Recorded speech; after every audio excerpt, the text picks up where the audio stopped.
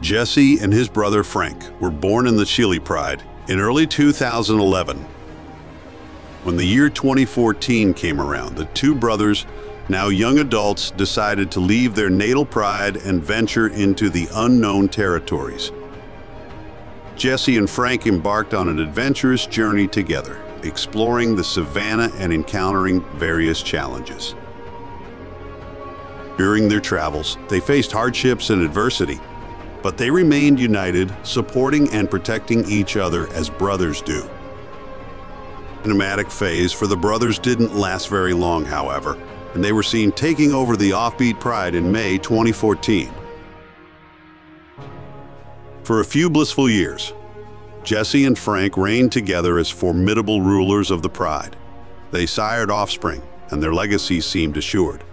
But, as the circle of life often goes, tragedy struck in 2016 when Frank disappeared under mysterious circumstances. After the disappearance of his former coalition partner, Jesse set out on a journey of survival, embracing the nomadic life that would test his resilience to the limits. He ventured into new territories, crossing paths with formidable male lions who sought to defend their reigns. But Jesse was no ordinary lion. He was a master of adaptation and a fighter like no other.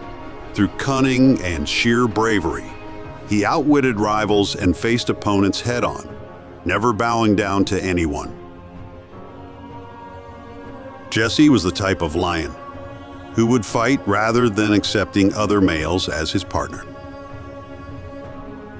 In 2020, one of the six-pack males was left alone to protect his pride after his brothers had decided to take over new territory.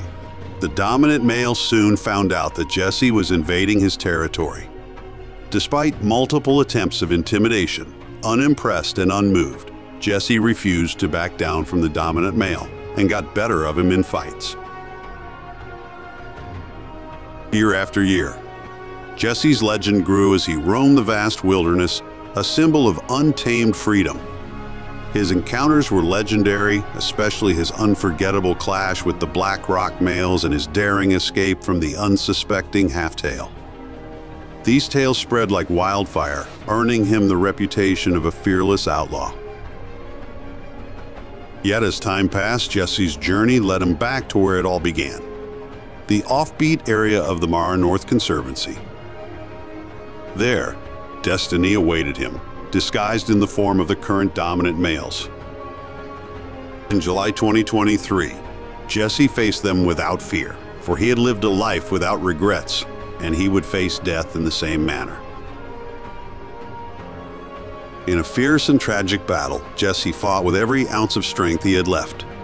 He bore his claws and bared his teeth, but destiny had its way. Despite his valiant efforts and a fleeting moment of hope, the brave nomadic lion succumbed to his injuries on 24th July 2023, leaving behind a legacy that would be etched into our hearts forever. The Masai Mara bid farewell to Jesse, the mighty outlaw, the once king of the offbeat pride, and the epitome of resilience and courage. He was a lion like no other, a symbol of the untamed wilderness,